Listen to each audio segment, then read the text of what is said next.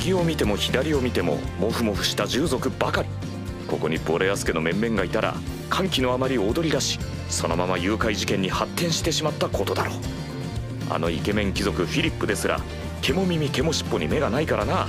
最大者のくせして業が深いことだよ。エリスもあまりはしゃぎすぎて友達を持ち帰ろうとしちゃダメだぞ。俺みたいに牢屋に入れられちゃうからな。